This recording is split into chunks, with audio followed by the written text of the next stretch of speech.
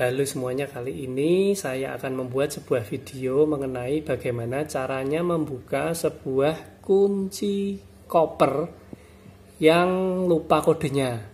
Nah, ini di sini saya punya sebuah koper yang kuncinya kebetulan kodenya ini lupa nomornya berapa dan ini juga sudah rusak ini hingga tidak bisa dipakai.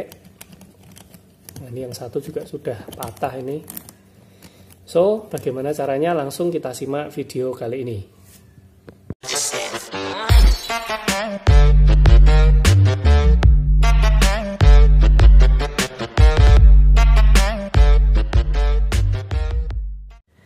Nah, jika rekan-rekan punya sebuah koper dengan kunci seperti ini dan kodenya ini lupa, caranya sangat mudah. Walaupun rekan-rekan nggak tahu kodenya, caranya seperti ini. Ini seperti rekan-rekan bisa lihat ini, ini ada tiga kode. Nah, di sini kita lihat yang di bagian bawah ini.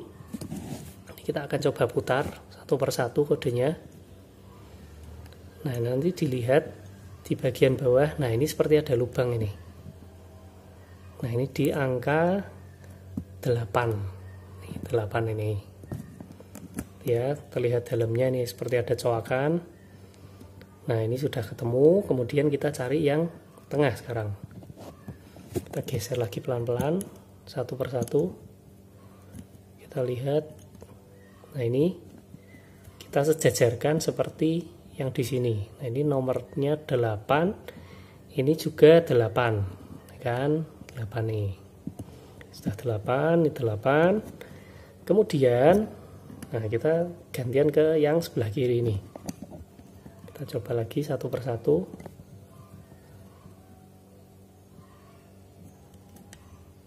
Nah ini ternyata angkanya di angka 3 jadi ini 388 nah setelah itu kita coba buka. Nih kita buka. Ternyata masih belum mau. Kemudian kalau belum mau kita coba geser lagi satu semuanya satu angka semua di 388 sekarang 277 masih belum mau geser satu lagi semua. 166 nah ini ternyata mau ini. Bisa terbuka. Ini lihat nih mau terbuka. Nah itu tadi caranya sangat mudah. So caranya teman-teman silahkan cari ini. Coakan seperti ini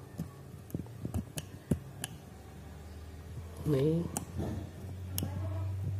Oke sekali lagi ya caranya ya. Ini kita lihat yang di bawah ini. Satu persatu kita cari. Nah ini ketemu di sini. Nah ini yang kedua. Ketemu juga. Yang terakhir kita cari lagi Nah, seperti ini. Setelah itu kita geser satu persatu sambil kita coba buka.